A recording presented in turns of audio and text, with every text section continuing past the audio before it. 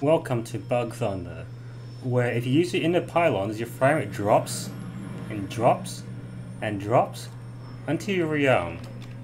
Watch this, I'll rearm, and my frame will be perfectly normal. Just like that.